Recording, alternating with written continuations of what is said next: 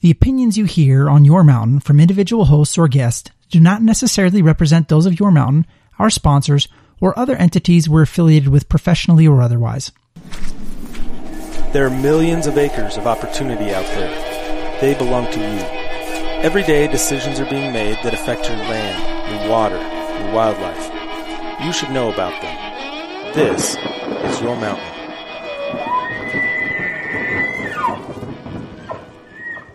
Hey, everybody. Welcome back for another episode of the Your Mountain podcast. I am your host, David Wilms. And I think because of some threats that Nephi and I made last week to po- put, put out open auditions for a third host, Mike McGrady made every effort possible to join us today. Uh, Yeah. In fact, I, I, and I, Nephi's here too, but he, I, I want to focus on you for a second, Mike. hey, Yep. Nephi. Mike, uh, so we've been working under this presumption for the past several weeks that you are just overwhelmed and crazy busy, uh, you know, getting your feet under you with your, your new job. And, and, and so we've been carrying that load of, of moving this podcast forward. And then we find out, then we find out that you go fishing Yeah, I did. and yeah, and that maybe uh, your your absence isn't because you're overwhelmed at work. It's because you're uh, Fishing wetting instead. line at play. well, I was kind of working. I, I mean, I don't No, want to get yeah, into well, details kind of about working it, but it. You've said it- but enough. I, I, I took, I took a former guest to next week's guest's place to go fishing. Um, I still don't call that work. Yeah. well, I can tell you the best fishing I've ever had in that place happened today. I think you hit it just right. Actually, I absolutely did. I have never seen that many browns rise on dry flies in fast water. I, I mean, I, I thought I was, I thought I it's where you would fish normally for rainbows, and suddenly the browns are coming up, hit the hatch, match the hatch. It was beautiful. It was awesome. Yeah, i w- I've actually I was exchanging some text messages earlier today with one of our former bosses, uh, not one of Nephi's former bosses, if that narrows it down. Yeah. Uh, uh, and we were talking about Pete? potentially potentially fishing the uh, the Laramie River this weekend, and now I gave away the exact I- river you were on. It was, but I, yeah, I was on the big Laramie, and I was using a five weight, and uh, they were doing well on patterns that look similar to mosquitoes, like a size eighteen, and then eventually, um, like a drake hatch came up. I mean, they were giant bugs coming off the water. Uh, it was it was just phenomenal. It was great fishing. well, I'm excited. I'm going to get out this weekend. Uh. I won't. I won't have the elbow room you had. Let's put it that yeah, way. right. Yeah. Uh, well, you know, I, I did happen to find some private water where the fish are not as educated. Yeah, I'm. I fished that private water. Yeah. Uh, probably didn't have the same kind of success you had today, but maybe I'll make a phone call and fish that private water this weekend. Yeah. uh, anyway, welcome back. Uh, we're still taking open auditions, and in fact, Nephi and I were talking about maybe having to have you re-audition for your part here. we weren't talking about that. Just so we're clear, we. I'm not No, sure we who. Dave was talking to about that, but uh, no, no, we were not. No, even though I know, you know, Chris Tymason wants it badly. We were actually talking about the idea of adding Yeah, a, we adding a we should have. Chris on. Yeah. Yeah, we were talking about the idea of we were literally were talking about the idea of should we have a guest host? And so hey weigh in. Like sometimes it's just you know uh, it's just Dave and Mike or just me and Mike which is very entertaining I know. Um, but uh, you know sometimes it's just two of us. And so we thought well should we add a guest host who's just kind of if one of us can't be there is always there I don't know Yeah. I think we could we could spread it around. I think I think I think it's a good idea. Well, That's that's me. listeners, let us know. Uh, shoot us an email, yourmountain at itsyourmountain.com. Find us on all the social media channels, you know, the Twitter, the Facebook, the Instagram at the handle at it's your mountain. And know that we listen because we did, it was either a week or two ago, we asked for feedback on whether we should continue going with these every other week episodes or get back into our weekly cycle. And to a person, everybody that reached out to us said, go back to doing them once a week. So that's why we're back. So so we're back and we're doing them once a week. Yes. And we're excited about that. And it's I'm actually glad we are. There's a lot. If we had to wait another week, we would have missed a lot, missed a, missed the boat on a lot of action that's going on right now in the the wildlife and conservation world around the country. So I think with that, that's a that's a good way to pivot into today's discussion. Um,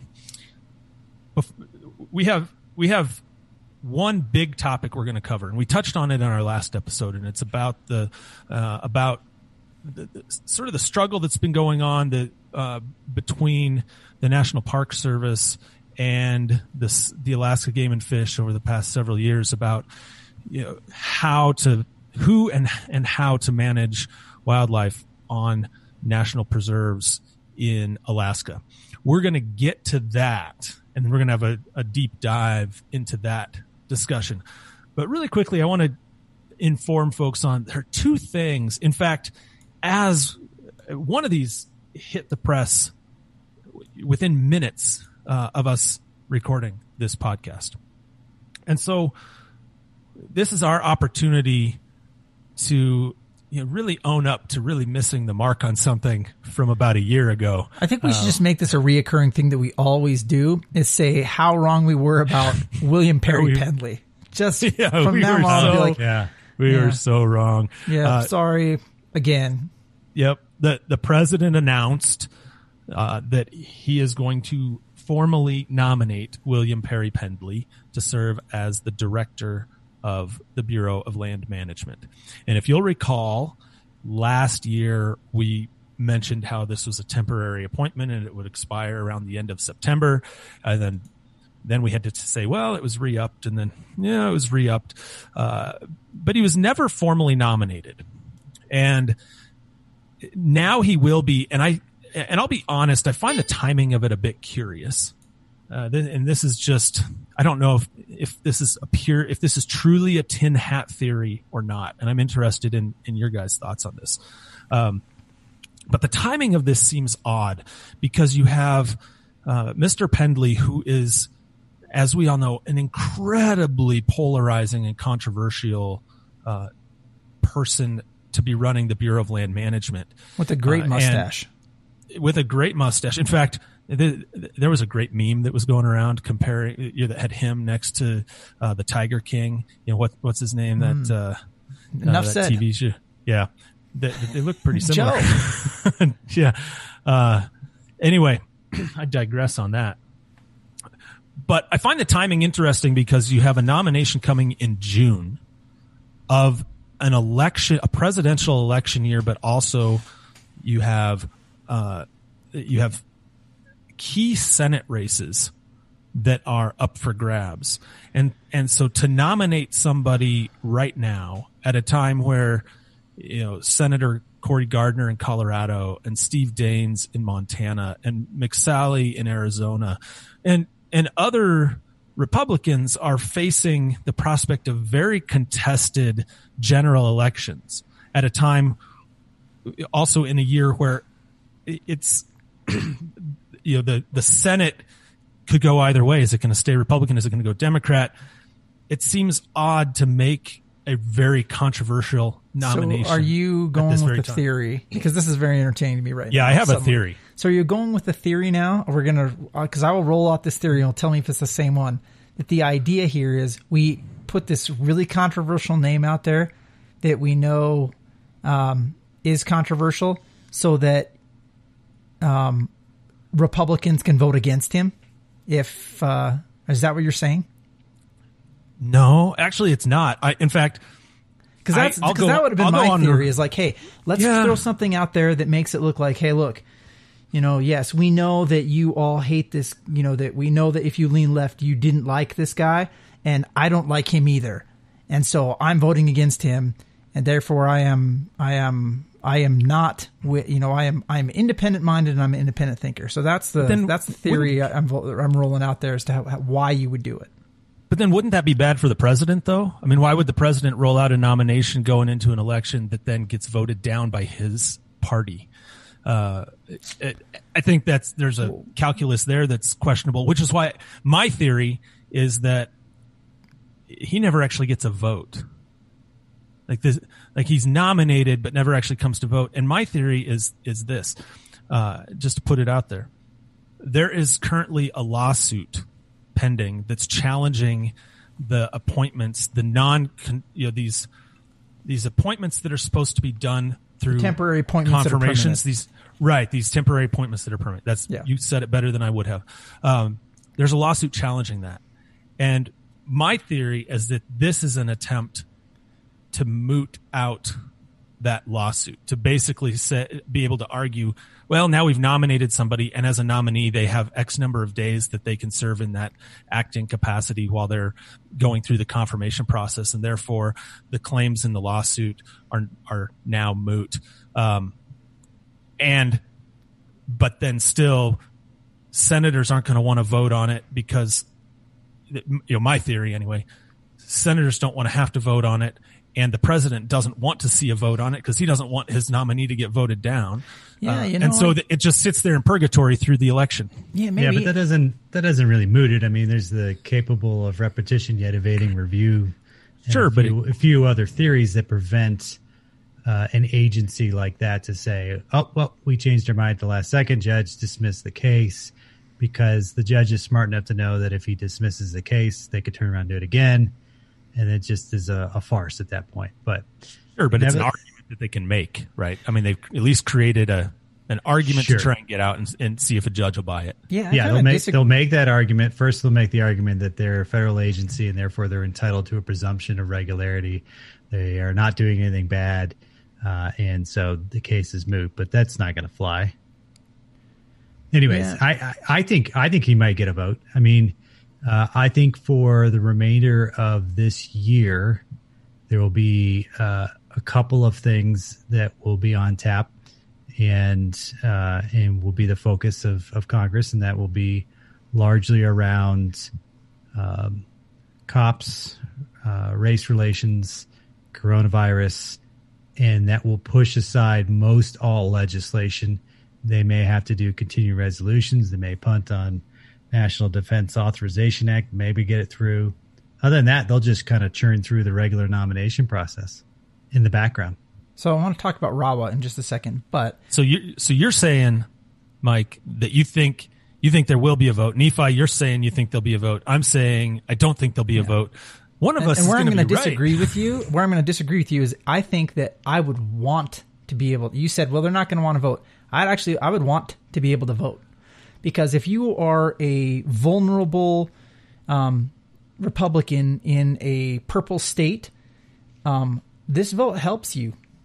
Now, it might not help you with the president, but it helps you with your constituency. Yeah, well, that's my point. Is is yeah, it does help you with your constituency, but then what does it do to your relationship with the president? And does the president want to nominate somebody that's not going to get confirmed uh, coming up on an election?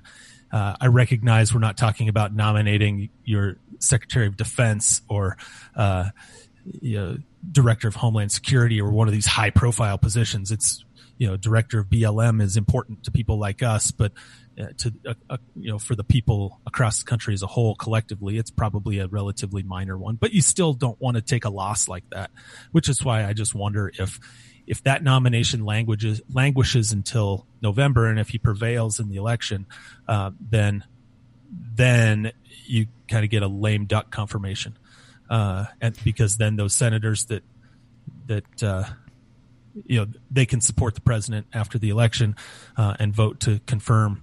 Uh, whereas if they were to do that vote now, they'd have to vote no. But that's why this is fun because it's all pure speculation and, and Pure speculation. we've been wrong about everything Pendley related up to this point. So, So we're gonna, but but we're only, but somebody's gonna be right this time. That's the exciting part. At least, at least partially, right? Yeah, because Yeah. The, everybody on the podcast thought like we knew exactly what was going to happen last time. So at least this time we know that one of us is kind of like because we're not all lockstep. Yeah, split opinion is good sometimes, right? Yeah, It's it's good that we don't have just the same view on everything all the time. I think it's it's it's worth noting as people watch. You know, Mike, you talked about the things that are likely to move in Congress and the things that aren't.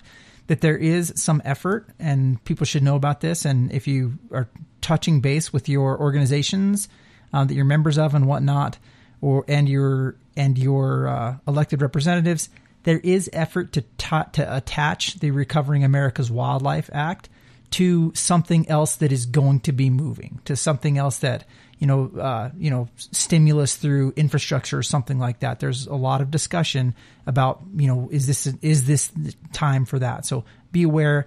Um, we may come back and talk about that, but we want you to think that we're geniuses if uh, if it passes. And we told you here first that it is going to get tied to something else that's important. Um, yeah, we will touch on it. Just just as a reminder, uh, of what Recover America's Wildlife Act is. We've talked about it a couple of times, but it, because recently we've been talking about the Great American Outdoors Act, don't want to get that confused with Recovering America's Wildlife Act. You know, Great American Outdoors Act, uh, they're, yeah. they're very different. Yeah. Um, the Recovering America's Wildlife Act uh, would use uh, royalties from offshore oil and gas leasing um, to to fund states to you know, create a pool of money that would go back to states to fund and if implementation hate all of these state, ideas of hang on just a second go go back to states to fund uh, the implementation of state wildlife action plans, which are really the state identified species of special concern, yeah. not necessarily threatened and endangered, but species that right now are underfunded because a lot of agency budgets are, are going to other species. Yeah, I just wanted people to know if you hate all these ideas, don't worry because as soon as we're all driving electric cars, doesn't matter. Yeah, there's no money for any of this stuff anyway. So um, as soon as we're car, you know, carbon free, bang, we don't have to worry about LWCF. We don't have to worry about any of that stuff. So on we go. I actually now I have to go back and check. Um, my recollection with the LWCF reauthorization uh, is that money uh, actually the money source would come from also uh, some renewables. Is that Am I not remembering I don't that recall right? that. Yeah. I think it was the original. I think it was pulling from the same location, and that's part of the beef. That, and I could be wrong on this, um, but that's part of the that's part of the beef or the effective argument against um, both the uh, both uh, LWCF permanent reauthorization and, and anything that's touching the funds is some of the biggest opponents of the bill have said, well, you can't fund this in perpetuity because it's coming out of this pot and it won't work. You know, because yeah, no, I've heard that. I've heard that argument, and I certainly don't want to imply that there would be enough revenue from alternatives to replace the yeah. the revenue coming from uh, fossil fuels. But I, for some reason, in the back of my mind, I thought they had done something with that where where there was at least some kind of trickle of revenue coming in. Well, we'll, those. we'll but, come back to but. I, I, I, could be totally wrong about that. There's so many things going on. I get some of this stuff mixed up sometimes. Um, second thing we wanted to talk about.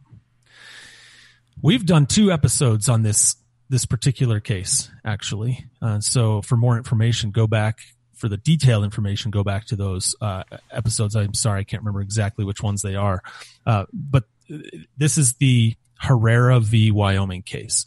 And for those that don't recall, this is the case where a Crow tribe member came into uh, who Crow tribe is located within the geographic boundaries of the state of Montana. Uh, the and the member resides on the Crow tribe reservation there and he came into Wyoming during a closed elk season and killed on, on, with a couple of friends and killed a number of elk out of season and was charged for that, for killing elk out of season. And his defense was that, that he had a treaty right, a, a, a from an 1868 the 1868 Treaty of Fort Laramie had a treaty right to hunt the unoccupied lands of the United States, um, so long as the game shall persist. And that case went all the way to the U.S. Supreme Court, and and the the court issued a decision. Um, now it's been about a year ago, I guess, and that decision uh, said that one, uh, the establishment of the state of Wyoming did not uh, eliminate that treaty right, and neither did the creation of the Bighorn National Forest, which which is the forest in, in which uh, Mr. Herrera and his friends um, killed these elk. And I should note that his, his, the two hunting friends he had that were also cited pled guilty, paid their fine. It was Mr. Herrera, uh, that, that did not, that challenged this. So it went all the way to the, to the United States Supreme Court and the Supreme Court made that determination, but it did not go so far as to say what lands are unoccupied that, you know, only, only that there could be unoccupied lands that the creation of the forest didn't, uh, cr- didn't create occupancy of all lands necessarily, that there could be unoccupied lands. So the Supreme Court did not weigh on it in on that, and they didn't weigh in on whether uh, any uh, any tribal hunting exercising that right in Wyoming would be subject to the game laws of the state of Wyoming. So that case all the way to the U.S. Supreme Court and it was remanded all the way back to the circuit court in Sheridan County, Wyoming. And the, you know, there was a series of, uh, of, uh, of arguments made. We, we're not going to, we, we might do a more, once we get the official order, we might do a more deep dive here. We're just kind of giving you the summary. Um, but after further proceedings in front of the circuit court, the circuit court last week, uh, or maybe by the time you listen to this, it'll be 10 days or so ago, uh, m- rendered a decision that said it, that the, that tribal members exercising that right due to what is called the doctrine of necessity, uh, is subject to the game laws of the state of Wyoming. Conservation necessity, right? And yeah, and conservation necessity being we have a finite resource and a lot of people that want to hunt that finite resource. And if we didn't have, uh, if we didn't have laws to restrict time of use, number of people that can hunt, you know, so forth, that we could overhunt and, and these populations could crater. And so that under that doctrine, uh, that in, in order to have the conservation of elk, for example, that the tribal uh, the, the, to exercise the tribal right, they would have to be subject to state law. I don't think they went so far as to they, they just the court just made that finding didn't go far as to say what that would look like how you'd fit that into the state system just that it has to be subject to state law. Um, there I, I believe mr herrera has 30 days from that decision to file an appeal. And i think this is one where the three of us might agree that that appeal will likely be filed correct me if I'm wrong, guys. I think that's right. And just to, I guess, add a little bit of information for so people can understand it better is when you describe the circuit court, we're talking about the state, uh, a state court that is in many locations similar to like a county court uh, or more local type of state municipality or state court system that uh, has misdemeanor type criminal offenses. And then if the appeal goes, it goes to the district court in Wyoming, which is basically what we all think of as, as, uh, you know, the, where laws happen or, or uh, cases occur. That's different than a federal circuit court. That's something different. So, um, so we're really talking again about a minor misdemeanor offense and its implications on what a state can do, what treaty rights mean, uh, it's it's pretty fascinating that it just is involving hunting at this stage. Right, it, and it's so fascinating that that something that's starting at such a at this state circuit court level may make its way back to the Supreme Court, U.S. Supreme Court again, and have implications far beyond Sheridan County, Wyoming. So we will keep you posted on what goes on there, but wanted to let you know that that decision did come out uh, within the past 10 days or so. All right. Those are the two. And I think those are pretty big current events that have happened since we last recorded a podcast. Uh, but there's a third one that happened. And actually, this one happened just, probably just before our last episode. And that's why we, we teased it last time and wanted to talk in more detail this time. And, you know, for this one, we're heading back to Alaska. And to be clear, before we start this, this is a very uniquely Alaska situation that we're talking about. Is it Dave? Uh, but uh, yeah, I was. You didn't let me finish my sentence. I had the but. I was going to say but. I know. I just wanted to interrupt you.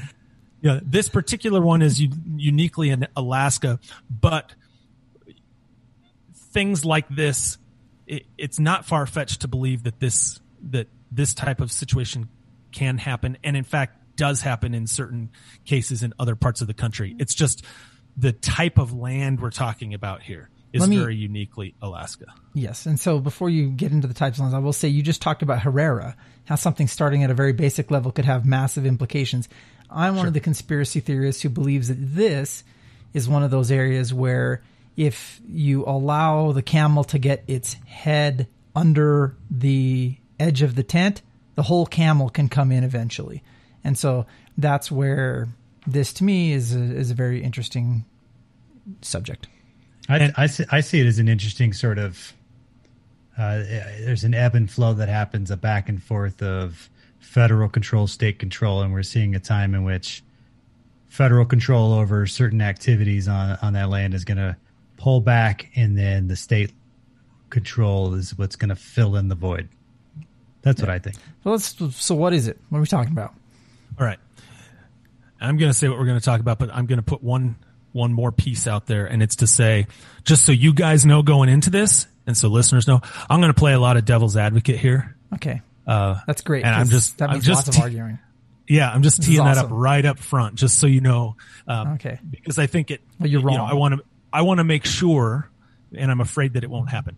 I want to make sure that that we explore all sides and positions of this particular issue and, and try and understand where uh, different groups are coming from with respect to this issue. Uh, so I'm going to do my best to play devil's advocate here Okay. because I already know where you sit on this, Nephi, and I guarantee Really? I know where, where Mike sits on this, and I probably sit in the same place. And so we need to have, I'm going to try and provide that diversity of thought on this issue, if just so you know. So you don't, you don't have to lambast me. Don't lambast me in the middle of this thing. And You can't buy integrity, "Dave, you're a horrible person. Yeah, so here we go. Um, let's tee up first of all what happened, and then we'll backtrack just a little bit.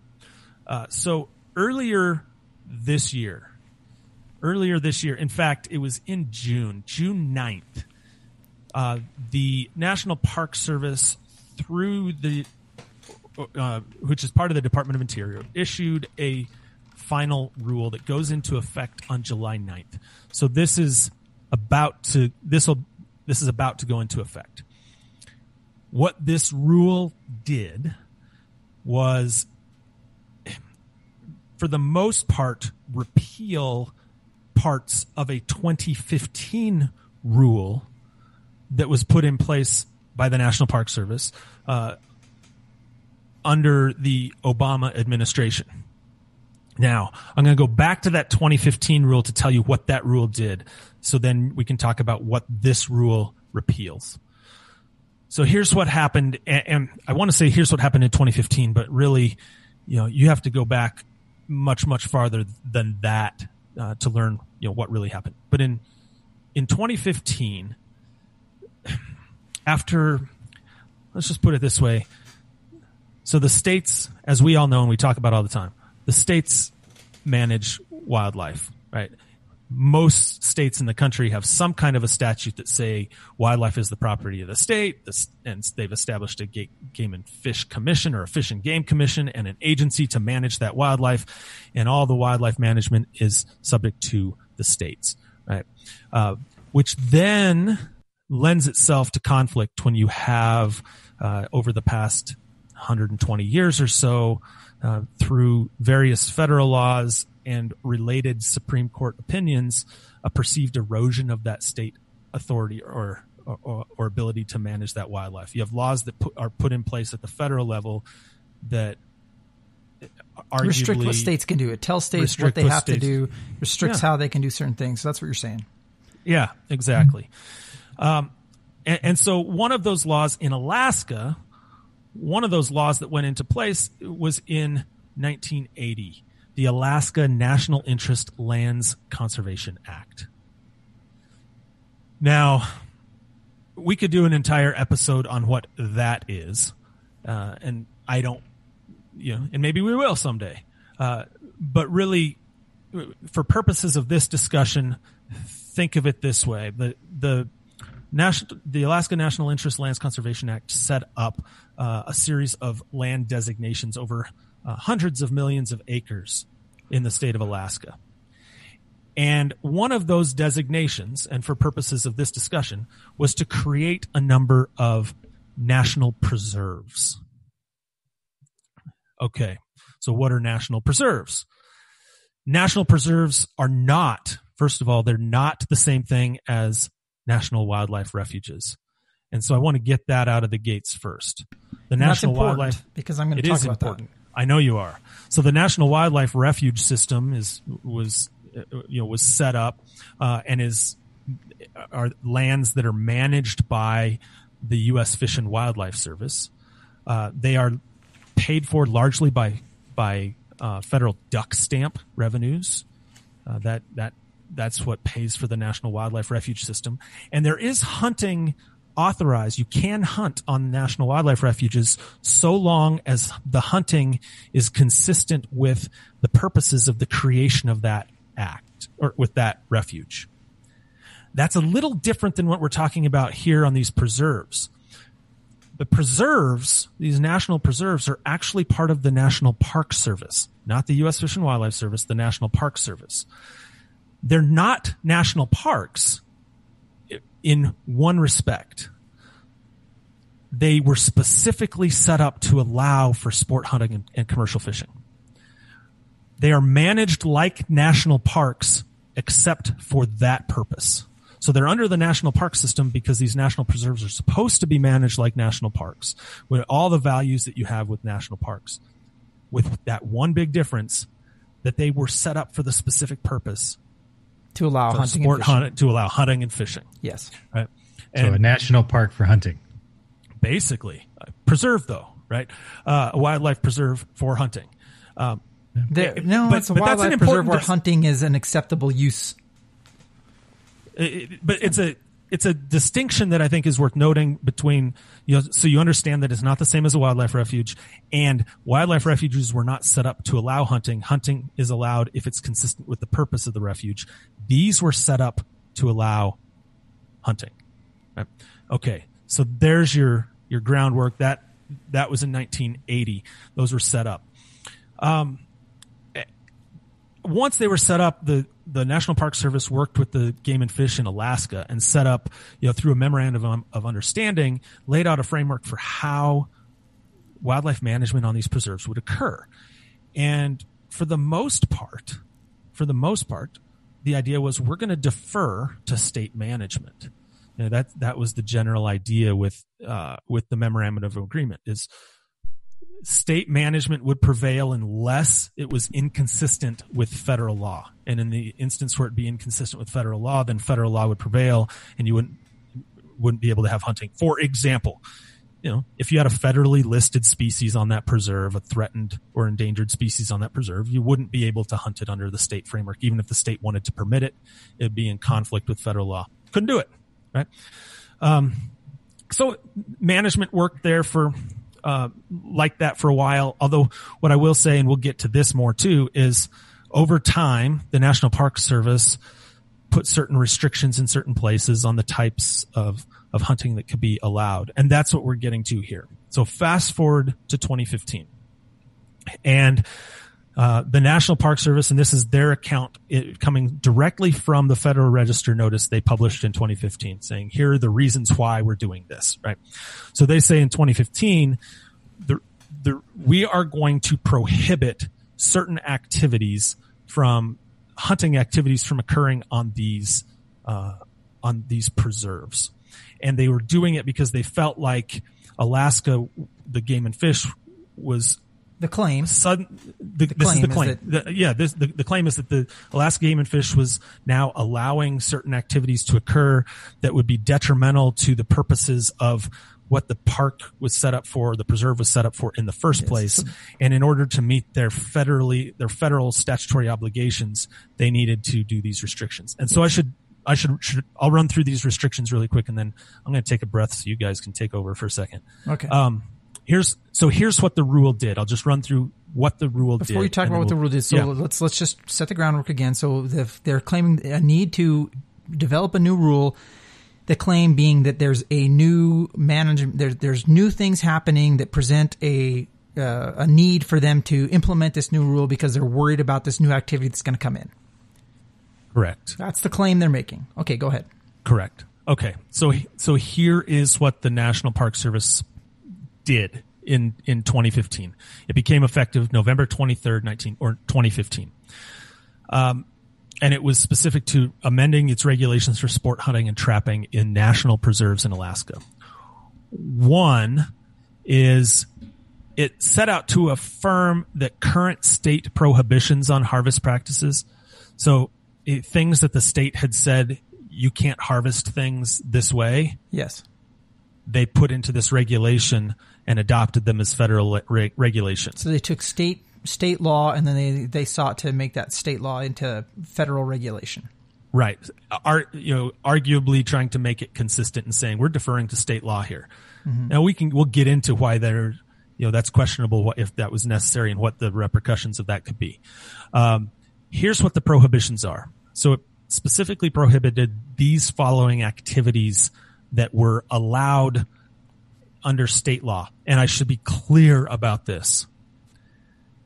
Though they are allowed under state law, and we'll talk about this more, it's to the extent that which they're allowed is worth is what we need to talk about more. Yes. Right. Okay. Because just because you can use utilize a certain method of take as a legal method of take doesn't mean it's allowed everywhere all the time by everybody. There's can be restrictions on it still. Exactly. Okay, Okay. so here's what it prohibited. Taking any black bear, including cubs and sows with cubs, with artificial light at den sites. Taking brown bears and black bears over bait. Taking wolves and coyotes during the denning season, which basically means taking wolves and coyotes during summer months. Harvesting swimming caribou or taking caribou from a motorboat while under power, and using dogs to hunt black bears. Here, here are a couple. So that's the big thing that was actually repealed. Those those provisions were repealed by the the new rule that goes into effect. Here are a couple of the other things that were also included in this rule. Some of which will remain in effect, and a couple, and I'll tell you which one, uh, also won't remain in effect. One is and I actually really like this one, by the way. It prohibits intentionally obstructing or hindering people that are actively engaged in lawful hunting or trapping. Basically, you can't harass people that are trying to legally harvest game. Yes. States, typically states have laws, anti-harassment laws, but it, frankly, it was kind of nice to see the National Park Service do that. Um, this one was, I believe this one was repealed, updates and simplifies procedures for impl- implementing closures or restrictions in park areas, including the taking of fish and wildlife for sport purposes. Basically, it was, we need to make it easier to close things down if we feel like we need to close things down. Um, another one, uh, which, which I believe stuck uh, with the new rule was not repealed, which was allowing the use of native species as bait, commonly things like salmon eggs for fishing, uh, as long as it didn't conflict with state law. Uh, so uh, that's the gist of what was in this rule. That's the gist of it, and it So all prohibitions other- on certain types of you know certain methods of take, certain types of hunting, um, basically outlining those in in federal regulation.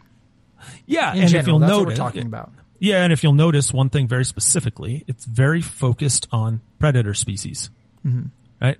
It has it says nothing about you know any large ungulates or anything else. It's it's very specific to predator species. It sounds a lot like some of the same, um, frankly, prohibitions and things that are asked for in the lower 48 by groups who are not fans of hunting.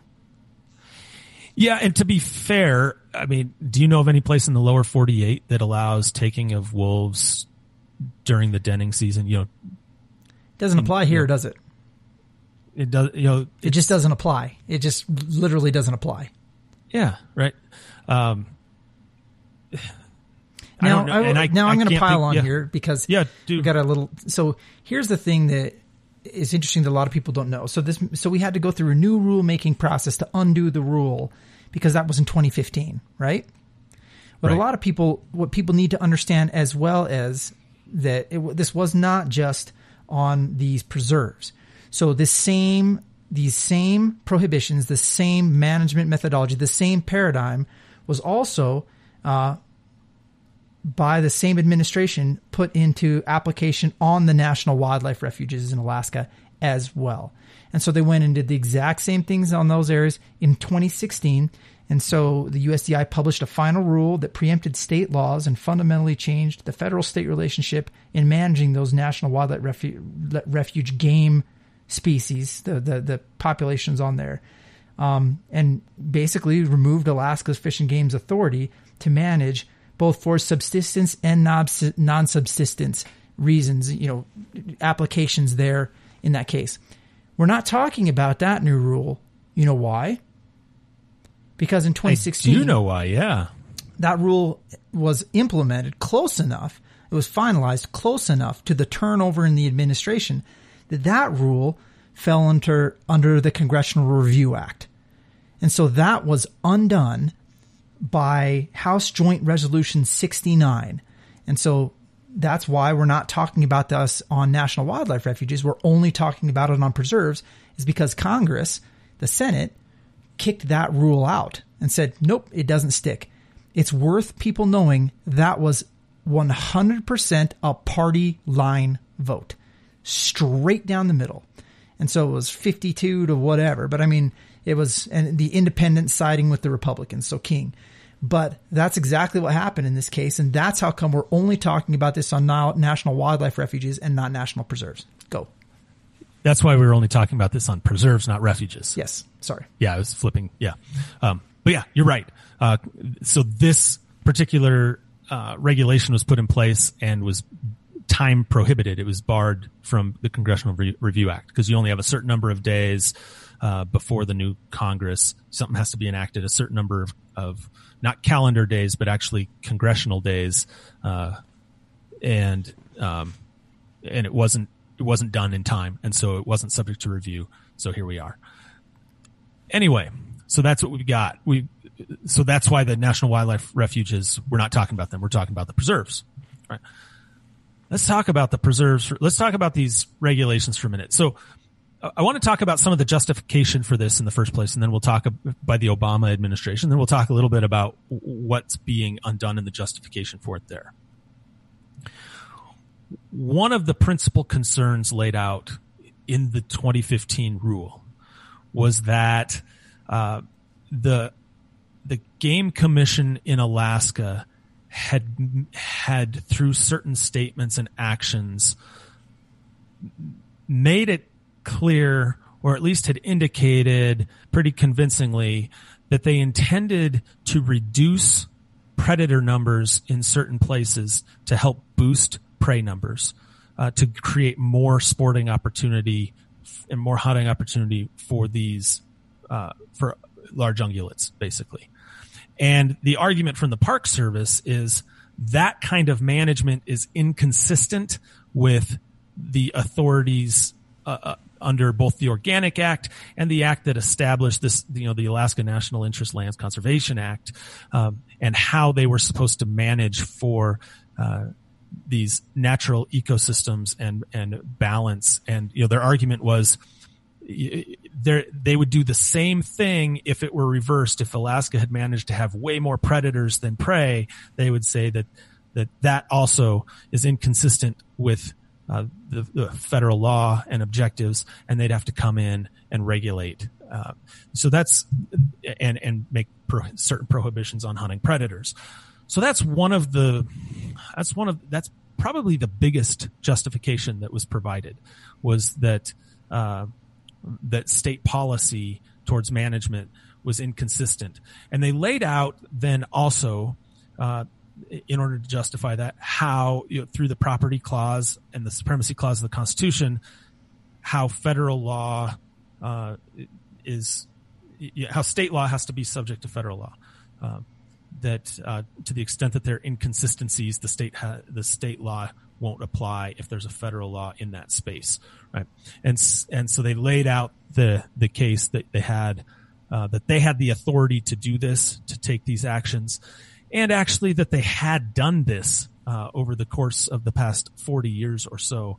Um, and they didn't cite this much. I actually found this through other sources, but um, there are a number of other.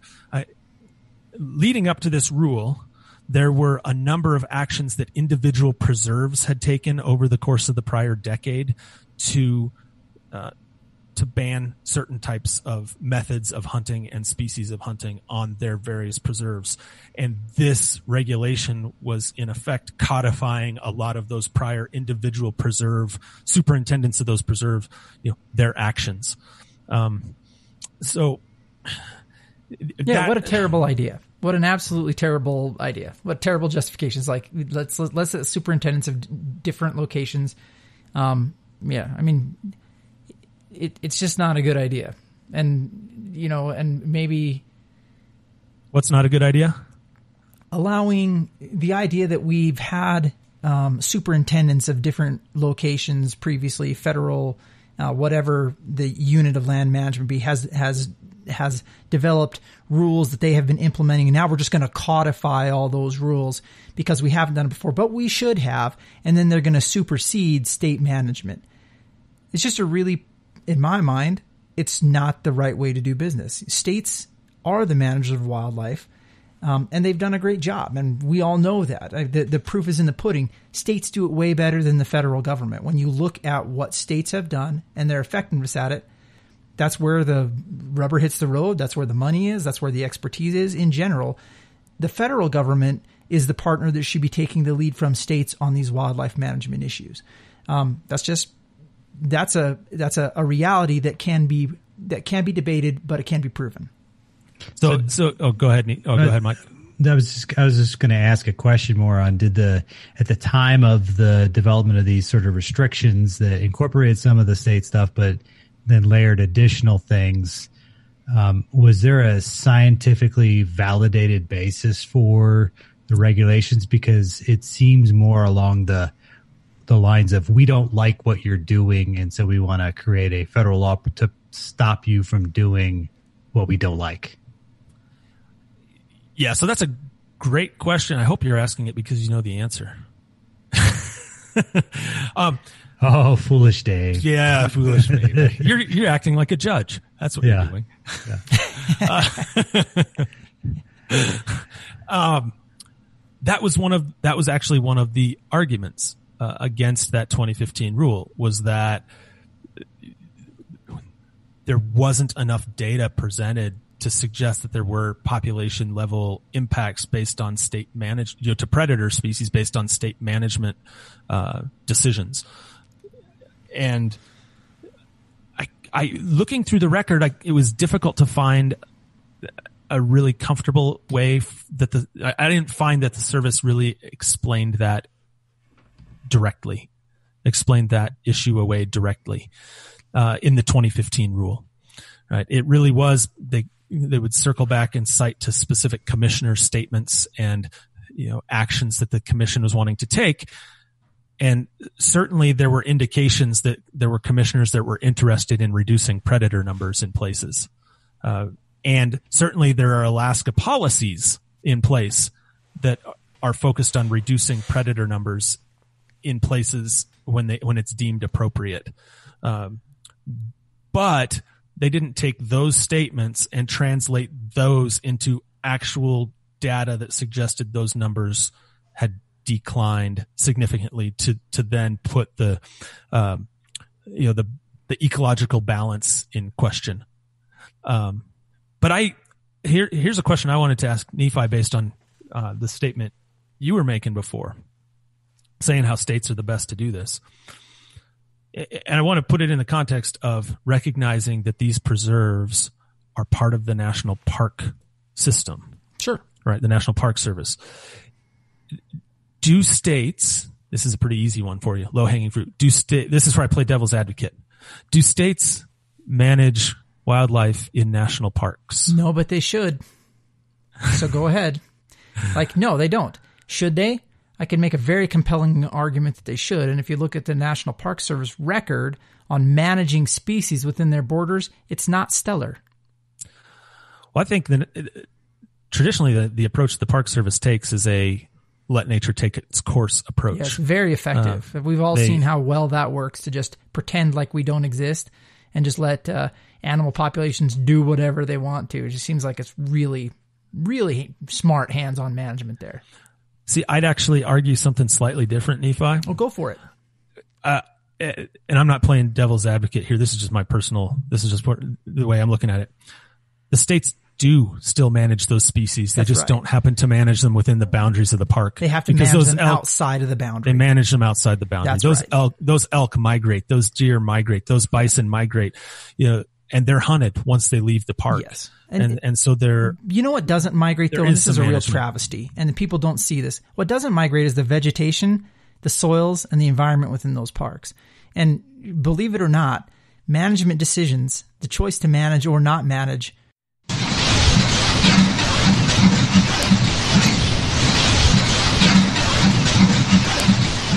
So, before I explain what that was that you all just listened to, um, I will now finish the diatribe. So, we were talking briefly about uh, the, the choice not to manage is still a management choice.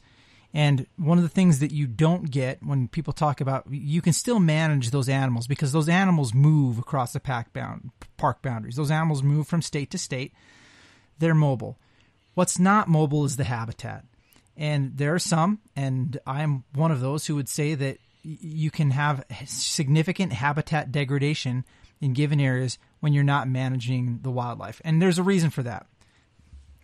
Mother Nature, for everybody that thinks that we should just let Mother Nature take take take her course, that Mother Nature is some sitting up there on top of the mountain and kind of trying to take care of everybody and and you know ushering Bambi into the forest and out of the forest, she's not. Mother Nature doesn't care. Mother Nature doesn't have a conscience. Mother Nature is not nice. Mother Nature doesn't care whether you starve to death or whether you're eaten by a wolf. Mother Nature doesn't she she she she she doesn't she doesn't care. Mother Nature will come into your house and she will smash all of your azaleas, Dave, and she will denude all of the aspen trees in your yard and ruin all of your new landscaping. That's what Mother Nature will do if left to her course, because Mother Nature really doesn't care how we feel about those plants. What do you think about that? Um, I think Mother Nature really messed up this podcast. That's what I think about that. I Yes, she did. so here's what just happened. Because we're sitting here on the podcast, right in the middle of that, Dave and I are sitting here, and then all of a sudden we all just freeze because we could hear literally what you're going to hear on the podcast, which was a massive hailstorm rolling into Dave and Mike's neighborhood and just destroying the neighborhood. yeah, you laugh um, because it didn't happen to It you. happened to me- it happened this to me two time. years ago, Yeah, yeah. Oh, this yeah, time. Nephi's gotten walloped before. This one was like a three phased attack. It started off five minutes of just big hail pieces that broke up easy. Make sure you're clear when you say big hail. I had golf ball sized hail yeah, at it my was house. it was golf ball. It was it was nickel. It was quarter. It was golf ball size. You know, when I Uh, drove but it would but your it would break up. I didn't see any leaves, but I also didn't see any golf ball size hail. But they, Now I saw like eight inches of hail. it was all, all the golf ball size stuff was buried by phase two that Mike Uh, wants to yeah, talk so about. so so for five minutes we got this stuff that's going and breaking up, and I'm thinking, okay, we're gonna we're gonna be just fine. And then and then it was like five minutes of what happened before doubled, so it just really like upped it another notch, and that was fine for another five minutes, and then it slowed down to a lot less, but really thick and hard, Yeah. hard hail that just annihilated um, the the the 2020 uh, Ford Explorer parked in my driveway. Yeah. Well, here's I, Annihilated it. I live on the opposite side of Cheyenne. I'm not Yeah. joking when I say I went upstairs, I walked out onto the porch, and I could hear it. Like I could hear it making its way through the like you know a mile away or a couple miles away down that side of town. You could literally hear it pounding stuff. It was it I mean it literally was audible. It was very impressive from from my front porch. I was I got to Well, tell you. and on on top Mother of everything Nature, else, she can on top of everything things. else, on top of everything else, there were uh we got about you know 25 inches of rain. At least it felt like. I mean, when I looked out my street, I opened my garage door uh, halfway, about halfway through this storm, and took some video. And it was like a pyroclastic ice flow running down the street. like I was looking around, like, did some volcano go off and melt some iceberg and this, you know, or melt some glacier? And this is the, that pyroclastic flow going by because there was, in addition to all of this hail passing through, there were limbs of brand, you know, branches of trees and, you know, puppies and, you know, small Yeah, elephants small, and all sorts know, of stuff. Just, boats. I mean, yeah. Yeah. Well, there. It's funny you say that because we have a retention pond in our neighborhood uh, as you come into our neighborhood, and two things happened during that storm, and it probably happens everywhere in America when storms like this happen. Some guy went out on his ATV into the retention pond and got it stuck in a drift of hail. and then somebody else rescued that person on a boat. I, uh, I, And this is where my kids play soccer. I So mean, this I don't is know- a place. Mike, I don't know if you noticed, but as you were leaving the, your neighborhood to see what kind of damage it did to the rest of town, I was driving into your neighborhood to see what kind of damage it did to your neighborhood. So I Yeah. watched you pass. It was Yeah, and we were we were I was driving the I was driving the 2006 Subaru Legacy, which is my it's my uh, it's like my Colorado stealth bomber car. Like if you want to not be noticed in Colorado, you drive the little Subaru, and then Yeah. you're nobody nobody messes with you. And so, but yeah, we me and uh, and the wife we took a little stroll and saw you and uh, Emily uh, having a nice little drive yourselves. Very impressive. But to get back to the point, um, really sorry guys, and and but you know we started talking about this. It's kind of interesting in in ways, but truly the the mother nature thing. I mean, that's the that's the part that uh, you know the diatribe that we're going off on is the choice not to manage um, wildlife is a management choice. And so that's the where we were going on, and you know, and, and, and chatting. It, you know, that was the diatribe at the time. So back to bears. Yeah, Yeah. and and we just wanted you to know as we dive back into. We just wanted you to know. I mean, we're recording this now two days later. Yeah. Uh, the rest of this, so we're trying to pick up where we left off. You know, we're you know this happened. We had to pick up the pieces a little bit, get you know, assess the damage, clean up the yards, you know, all that kind of. I had I actually had flooding in my basement. Uh, Yeah. As a result of this, turns out when you get all this hail and it fills all of your gutters, the The hail and rain wells. just pours over the gutters and into the window well and then floods the basement. So we had to get all that squared away before we could go back to finishing this episode. And we thought, you know, rather than starting over, you know, we'll let y'all realize that we're we're humans going through human events just like everybody else, and uh, we're just going to patch this thing together and, and uh, move forward, right? Yeah, ugly. Yeah. Anyway, so back on back on task, uh, and I'm going to circle back on your diatribe really quick, Nephi. Yeah. Uh, because you know I'm going to make yeah I'm going to make the the argument for argument's sake that there are places in this country where it, you know, that it that it actually does make sense to let you know let nature run its course and be nature and and the management being pretty hands off um you know I, I- think for example, example. of I, yeah so here's here's what I was going to say I think for example of a place well first of all we could talk about all kinds of places in Alaska that are so remote and untouched you know these massive parks that never see a person uh, that that they pretty much can take care of themselves. The human impact there is relatively minimal to non-existent in a lot of places, and you know, even if we do have some hunting in some of these places, it's so negligible uh, that it really doesn't impact. you- You're providing opportunity, but not necessarily management in some of those cases because it's so remote. But the place I'd I'd point to are some of the national parks and the purposes behind the national parks, and the fact that we had in in the last calendar year 300 roughly 320 million people visited national parks or monuments. And i can tell you definitively that there that the vast majority of those people probably don't want to see one of us walking out and popping an elk outside of old faithful. Um Yeah, you know and, and so I I, I guess my saying, but- so my, my my point being let me finish my point really quick. So my my point being that um we set up these places so so people from all over and all walks of life can come and and and see these special places and have an opportunity to see wildlife that maybe they wouldn't have an opportunity to see if there were hunting opportunities.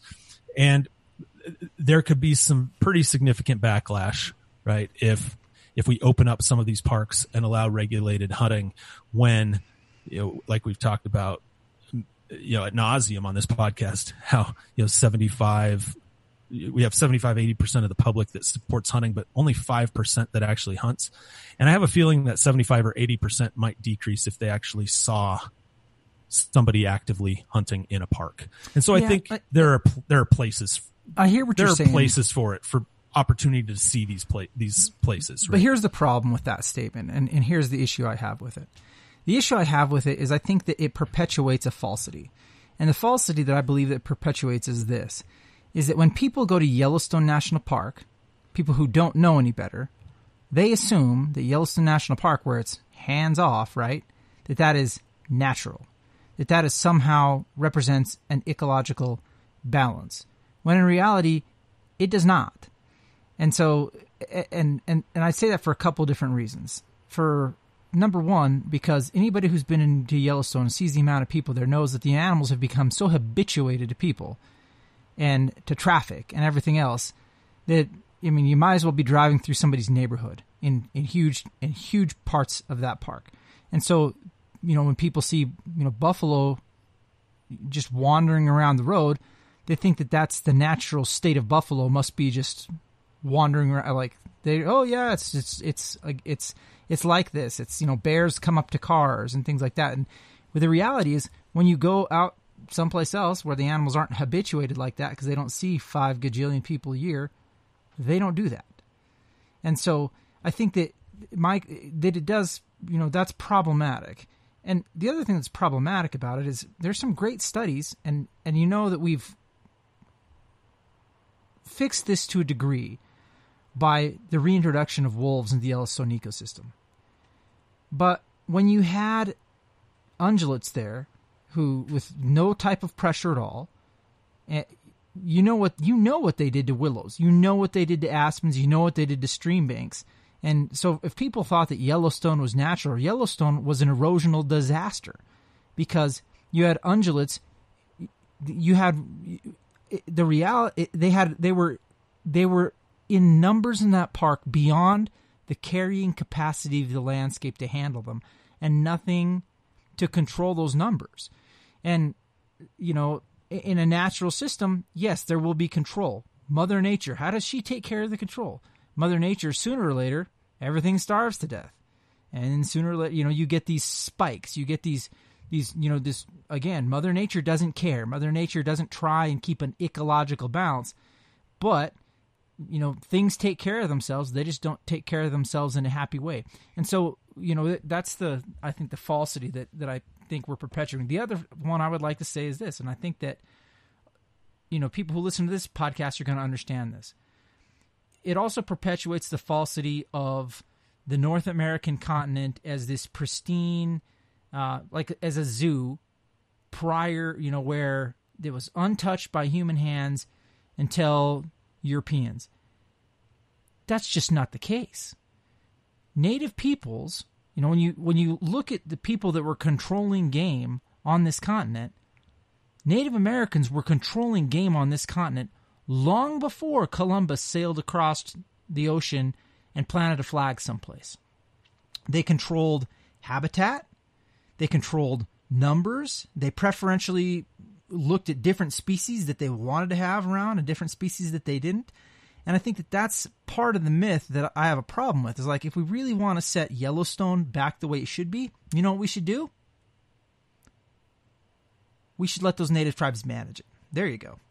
You know, there's, I mean, uh, it's never going to happen, but hey, want to, you, you can't, you, there's not a, the, the system to believe that the, the natural system existed absent the hand of man isn't true.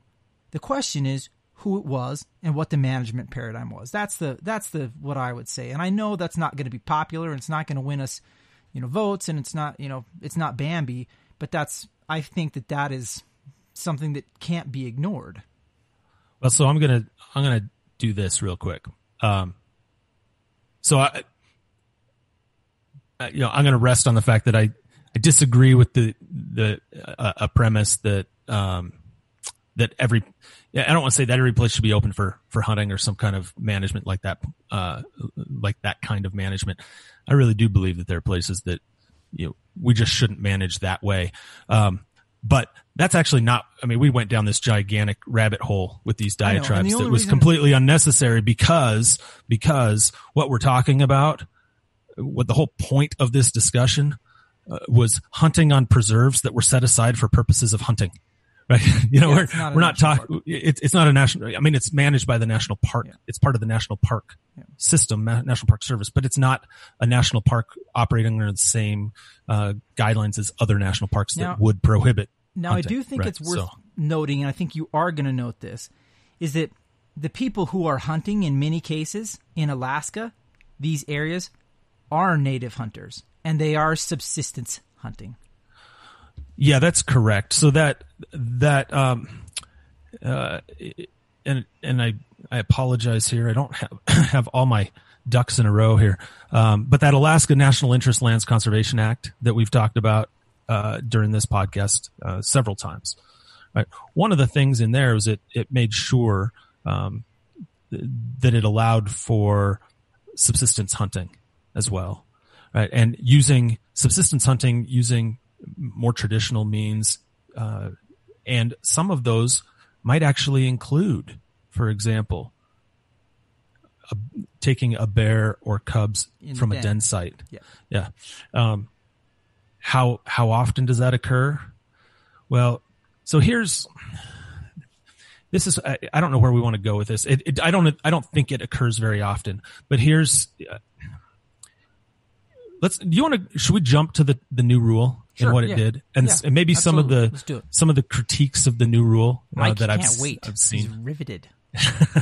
So Or Uh, reading, or we, reading his stock reports at the same time that we're talking right, right. So we've mentioned the. I'm, I'm I'm looking at the new rule on the on the screen. It's funny. The new rule is pretty straightforward, right? The or the so that goes into effect here uh, on July 9th. Um, so really soon, this rule goes into effect. Uh, it and really what it does is it it repeals the portions of that 2015 rule that were banning these prohibitions right? Or that were not prohibition that were banning these different means of take eh, methods of take uh, and type types of species taken right? That's that's really what it does. And it's kind of fascinating when you compare the 2015 rule to this new rule the 2020 rule we'll call it i guess that 2015 rule I don't know how many pages it was. It was. A lot of pages, right? This new one was much much shorter, but that first one was a lot of pages, and I think it was a lot of pages because they were really trying to justify. The administration was trying to justify why it was taking this particular action, why it was imposing restrictions on type of types of hunting, and really wanted to lay out the legal argument that it had the authority to do so. And what I found interesting about the 2020 rule is that there wasn't a lot of legal explanation or justification. It was more of a policy argument. It was more of a look, we when we the, you know this was these preserves were set up for hunting.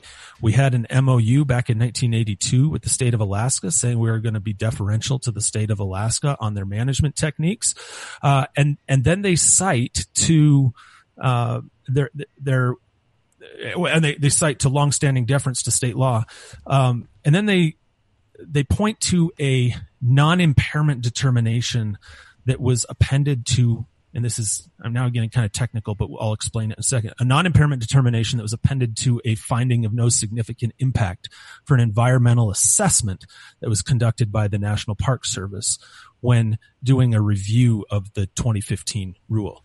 And basically what that means is they were saying they were going back and doing this assessment and, and asking for data from the state of Alaska and trying to make a determination whether if these means of take were allowed to occur. Would one would they occur?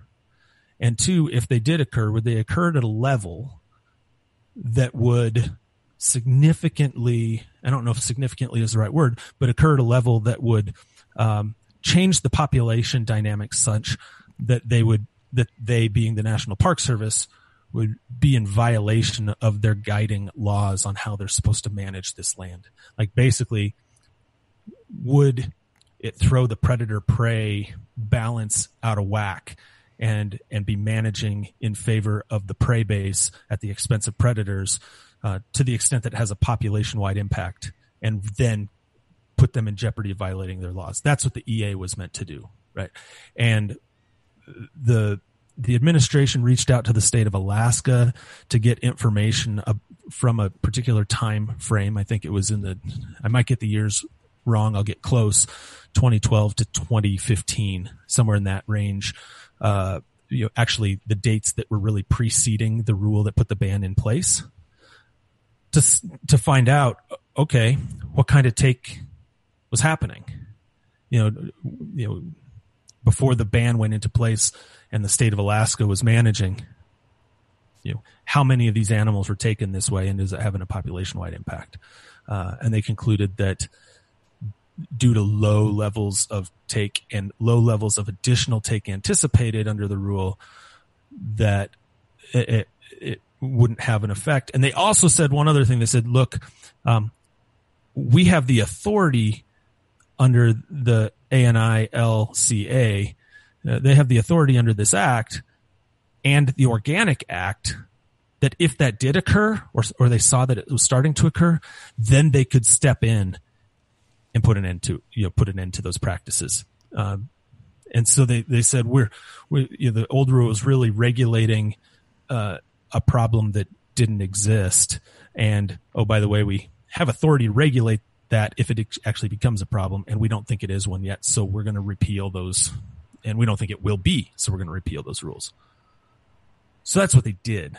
Um, I will say that that there there is a long letter from some former superintendents of a number of these preserves and other parks in Alaska uh, that were to say they were opposed to this rule repeal would be stating it nicely. Uh, they had uh, some some pretty big criticisms, and I think it might make sense. Uh, what I'd like to do, I'm going to put it out here right now for you guys. So we'll be we'll put we'll put this podcast out, but you know, to be fair for transparency, maybe we should also post on our social media sites these regulations and maybe this letter uh, criticizing and also a letter from the Alaska Game and Fish Department saying here's why it's not an issue. Uh, here's why you shouldn't regulate. You know, just put all the information out there to help people make their own decision on uh, uh on this rule. So because I think that's one of the things. What you're saying is that the the the the directors um, the superintendents were in favor of the repeal of the no. No they were, they were keeping the old. Correct. The they super thought, they thought the status quo was was right or done yeah. well with by they the liked previous the 2015 administration. rule. They wanted yeah. to keep it. Correct. Correct. And and I will say the letter is mostly from folks that have uh, that are are were prior superintendents or have retired uh, yeah, and they aren't currently in that position. Um, here's an interesting fact for you. I'd love your take on this. This is sort of a here's my slight tangent, but I found this interesting, and I'd be interested in both of your takes on this. 2015 rule.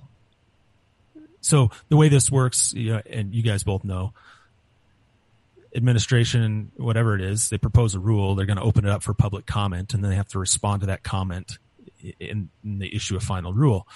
Um, 2015 rule had 70, 70, 70,000 comments. And of those, 65,000 of them were form letters. So there are really 5,000 unique comments. But wait for the next piece. This is the part okay. that I find interesting. So that's the 2015 rule. Remember that number, 70,000. 70,000.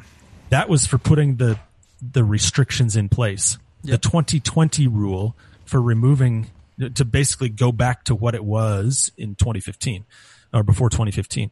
The 2020 rule received 211,780 pieces of correspondence and on on the proposed rule with a total of 489,101 signatures. Of those, 176,000 were form letters and about 35,000 were unique comments. I I have my theories on why we went from 70,000 to 211, almost 212,000. But I'm interested in yours. Want you want to know some wonky stuff? Yeah. Yeah, we have a Yeah, that's, that's all we do is wonky stuff. For everybody that doesn't know, you know the old process of just taking one. So for people that don't know, there are there are interest groups who have made a science now out of getting comments from people that wouldn't normally put comments in. And the way that you used to do this is you used to they used to ask for people's email addresses, phone numbers, addresses, whatnot, and then they they you know or they'd get you to click on a button and you'd send a specific form letter, and so all your form letters looked the same. The technology's actually improved significantly now, where they figured out how to how to not make it look like the same letter, and requiring you to add certain stuff and do certain things to make it so that they're all somewhat unique, or they feed you the addresses through their system, but still so. It's, I'm just think that it's interesting, and people should know that that they've made it harder because we've gotten better in government at fi- at finding out that something's a form letter and categorizing them all as such. They've gotten better at hiding that. Now, that doesn't mean that they're not. Uh, I mean, that doesn't mean that these aren't all you know. You, still, that there's not more unique comments in this. But I just wanted to share that piece of wonky information. Here's No, another I- piece. I- oh, I- go ahead, Mike. I was going to say, uh, I, I would agree with that. And because I, I mean, I thought about it as two ways. Uh, the difference being in 2015 versus, you know, 20, 2019, 2020 timeframe is the technology has exponentially increased to get it to the point where it's a lot easier to get those comments in, uh, and, and organize them in a way that's, that's getting into the, the, the heart of the matter for whatever the campaign is. But I think the other component to it is also that my estimation is you will see more comments that are purported to repeal or re- or pull back on uh, things that are perceived to be good for the environment or um, the, you know it sort of characterizes a rollback on on things that are helping the environment. I don't know. It just seems like it inflames more people, and you get more comments that way. Yeah. I think that's right. I also think there's the fact that uh, building off of your comment, Mike, there's something to be said about the administration we have today, and just in the conservation environmental community, the belief that that admin, there, that there is nothing Nothing good comes out of it. if if that administration is proposing something, you don't even need to look at it. You can just assume it's bad. Just Um, fight it. Is is a there's a mindset out there, and it's really got people riled up and fired up, and I think causes them to to en- Well- engage and submit letters more than maybe they would under different administrations. I think there's something uh, to that too. yeah, and, and there's also the the the dynamic the dynamic in there where if it's it's easier for folks to sit home and not participate if they agree with it. If they disagree with it, then they're more likely to actually click a button, take action, submit something. and it's and it's really easy to make these things sound bad, isn't it? Like if I if you're gonna take you know take any we've seen this with hunting, and this is how hunting gets attacked, and this is how you lose opportunities to hunt, is because if you were to poll Americans in general, poll everybody, and like, are you okay with hunting if people use it for blah blah blah for meat, and they, they, as long as it's not sport hunting, everybody's gonna be like, oh yes, yes, absolutely, we're okay with it, and then you start going down the list and go, well, what about long range hunting? What about people who shoot an animal with a pointy object and they, they don't die immediately? Well, what about this type of trapping? Or what if they, you know, what about bait? What about as soon as you start bifurcating everything and going down, like you literally you can get every one of them by making it sound the way you want it to. You can you can erode each one of those. You know, you can erode anything if you take it that way. And you know, I, oh, yeah, go ahead, Dave. Oh, I, you know, I, I was going to say, you know, I, I, I went into this thing. I was going to play devil's advocate. Here's one place I, maybe I won't be playing devil's advocate as much as I as I thought. Um, in a lot of ways, this had felt like it was regulating based on a sense of morality, uh, uh, meaning a perception of what of what the most ethical and moral way practice to hunt is. Uh, and it, it just felt like perhaps there were people that said, look, I don't think we should be hunting predators. But if we're going to hunt predators, we certainly certainly shouldn't do it this way. You certainly certainly, certainly shouldn't, shouldn't do it over bait. Right. And we, we absolutely shouldn't, shouldn't, uh, you know, take a, a sow and her cubs from their den. And when you hear that, and, and obviously the media hits, has hit that. If you, if you believed everything you read and all the stories about this, and this is one of the reasons we wanted to, to take this topic on, and we probably should have mentioned this at the very beginning of the podcast. Every single media report we saw was so slanted in one direction. It made you think that that there's going to be an army of hunters going out there and just pulling bears from their dens, There and weren't you know, be any left. and it was just going to be a a predator slaughter. Basically, we're going to kill all bears, we're going to kill all wolves, we're going to kill them in their dens, and people are going to be lining up to do it. Um, a- and when you really dive into it, it- you you realize that can that happen technically happen under Alaska law? In most places, no. In some places, No. yes, but the circumstances are very, very limited. And really, you're talking about subsistence hunters that might take one a year that uh, have to do it because they, you know, they can't get on a plane and fly to a grocery store once a week. Yeah, you'd have You know, to they got to live. you'd have to create a pretty elaborate little storyline to have it occur the way that they're acting like it would. Yeah. And and before we move on, uh, one other wonky thing I wanted to mention on this whole commenting piece, and this is just advice for everybody that's listening. I don't know if we've uh, if we've talked about this before, but we if we haven't, we should, and we should probably touch on it again. When you submit a form letter to a federal agency, if 25,000 people submit a form letter to a federal agency, that's treated as one comment and they'll respond to it in in their response as one comment. And, and so, if you want to have an impact, it, the number of people that submit a a form letter is not what creates the impact. It's the number of unique responses or the the unique comments that can create the impact. Ah. And I think that's eh, you. Do you disagree with me? Dude, no, it depends. I mean, you were right, but the the thing that I would say, if you're looking for backing to come to do an action, so when this first when this first thing occurred, like when they made when they when they developed the rule, I guarantee you that the people who developed the rule they didn't just say, well, well, it looks like we got seventy thousand of them, but it's just it's one form letter, so we're just going to count it as one. No, they said seventy thousand individuals supported our decision and the, and I mean, why? Because so, and I'm talking about the the maybe not the, the agency heads, but the people who are making those decisions. It's just it's political capital. I mean, just like to be frank, when you look at these comments that came in opposed to the new rule, the one that was just rolled out by the Trump administration, I guess I would ask you just as a question: Does it matter to you if there were 250,000 comments? And they're individual. Does that? Do you think that that should change? That I mean, sh- should should people who don't know what they're and I'm just going to be honest. should- I mean, I don't know. if Honest is the right word.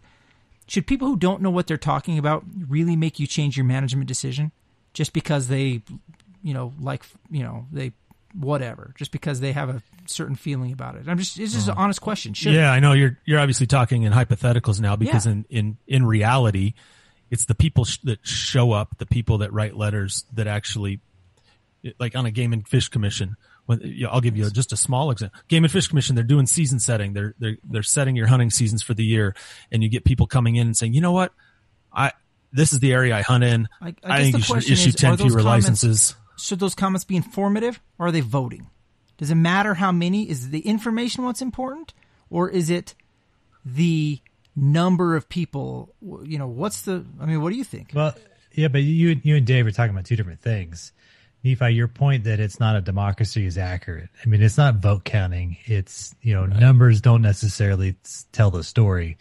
Dave's point, if if I'm if I'm correct, you know, if I'm interpreting it correctly, is that if you are going to submit a form letter, it's going to go in a stack and not get read. If you want to have your voice and attempt to influence it based upon the information you have, you got to write an individualized letter that communicates correctly your view on things. And that is more likely to be read, deliberated on, and considered than you'll ever get out of a form letter that happens to be one of 200,000.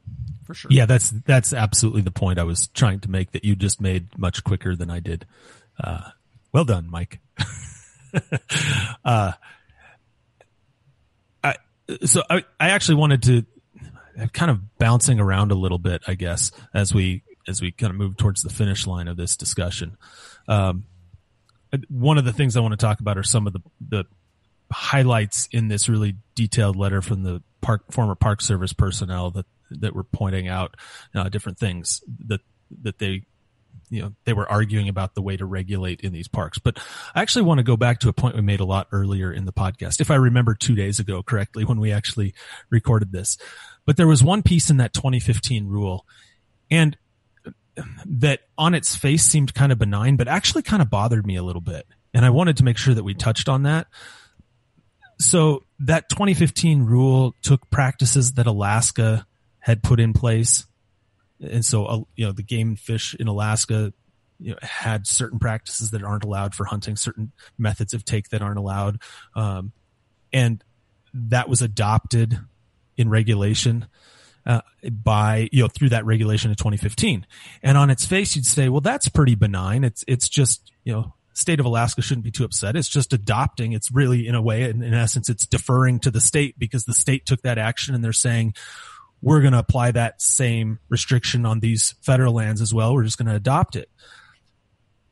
Here's, here's why it kind of rubbed me the wrong way.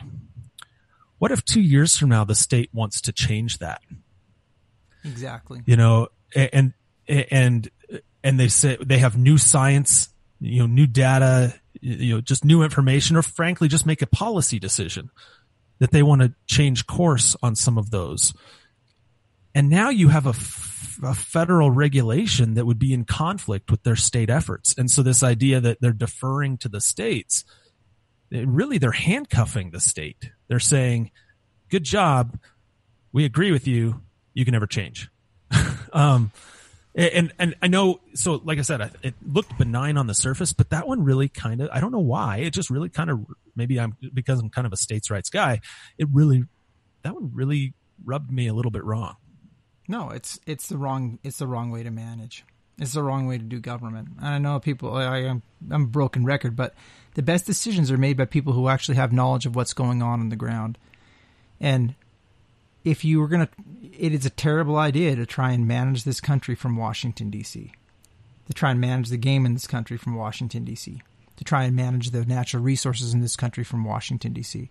Because the people who sit in those offices change. We hope and they bring different perspectives and they you know come from different areas. But the problem is their knowledge base is very finite.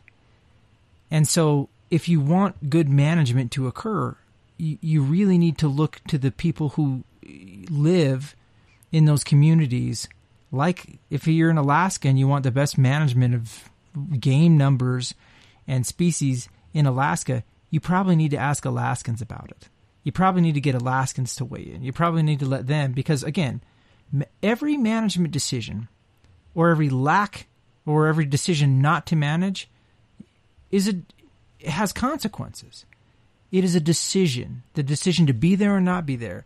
It changes the outcomes on the ground. It changes the shape and look of things. And if you're not there to look at it and to care about it on a daily basis if you're just making a gut check based on you know you're you're making a decision based on what you think right now after having read about it for 15 minutes like we do like the your mountain podcast guys we should not be making management decisions about fishery numbers in Florida. You know even if we you know read a couple articles about it we may have opinions but we should defer to those experts on the ground those people who have that local expertise who actually can you know talk to and speak to the practices over time that they've used to manage that resource. And that's, you know, that's maybe is hard for us if you if you, if you want to have your fingers in that and you want to be in charge of it. It's tough to take that back seat, but it's important to do it and and to have the humility to let people who live there teach us maybe how it can be done better. Yeah. So, look, there are 50 different states with 50 different sets of priorities, management priorities for the wildlife within their boundaries, within the boundaries of those states. And there are 50 different states that say, we own the wildlife of this state and we're going to manage this wildlife for in perpetuity for the benefit of the citizens of the state. You know, the whole objective is to make sure that that the management decisions that the state makes today doesn't have a negative impact on future generations. Everybody's doing can, it right except Texas. Just kidding, Texas. I just wanted to that in there. Just kidding. Uh, that's a podcast in and of itself. Texas is complicated. Uh, but every state does it different because every state is so different. You know, ge- geographically, uh, politically, there, there's just so many differences that if you tried to have a national system, it would be immensely complex and in my view probably destined to fail uh, be, I just don't see a national management system that that could do it effectively. So, so here we are in Alaska, and you know, kind of trying to move towards wrapping a bow around this. the The whole idea is from the, the, the current administration and their rollback of the restrictions that, if you want to call it a rollback, of the restrictions that were in the 2015 rule is to defer to the state and do really to try and do what what they'd been doing for the past nearly 40 years up until I would say up until about 2010. It was around 2010 that different uh, park superintendents up there started putting in place prohibitions on on certain state authorized hunting practices on their respective preserves.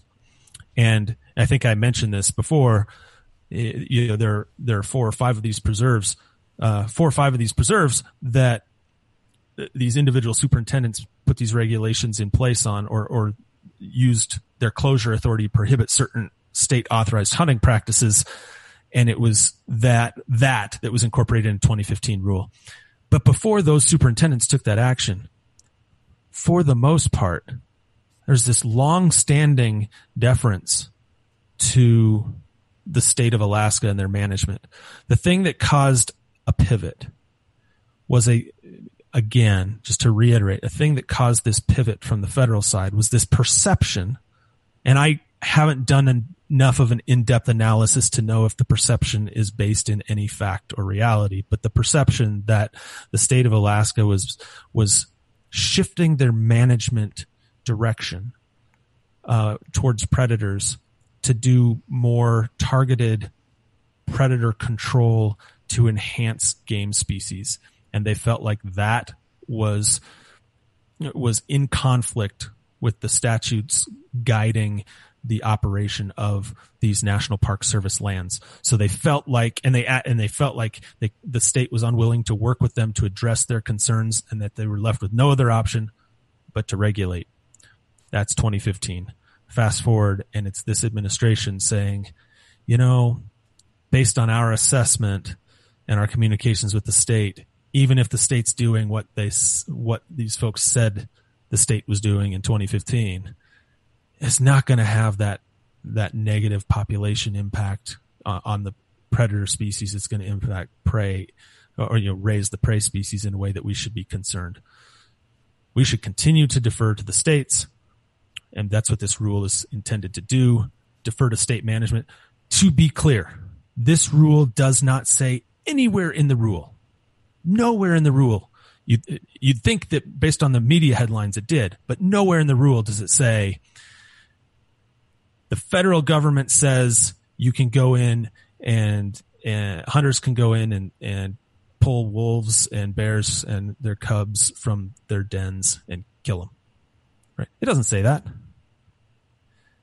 It, you know, they're not authorizing practices. They're just repealing those prohibitions that were put in place in 2015 and deferring to state management. and if this and if the state says there are certain instances where we think it makes biological and management sense to allow for that type of take to occur, then the state should be allowed to make that decision. And we're not going to step in and prohibit the state from doing that because, frankly, they've been managing these lands since before uh, this 1980 act, and there seem to be lots of bears and wolves. right? So, so maybe they haven't been doing a bad job. So it gets back to my point at the beginning on this is a discussion about the ebb and flow of federal and state management. I mean, who who's really in charge here, and uh, if they can't occupy the same space at the same time in this in this area, sort of like who has it? And as as the feds step back, the state steps in, and so it's not as though there's no one regulating. It's just a matter of deferring to the state or going back to the system of deferring to the state. Yeah, and it's a story as old as time, right? Or at least as old as states.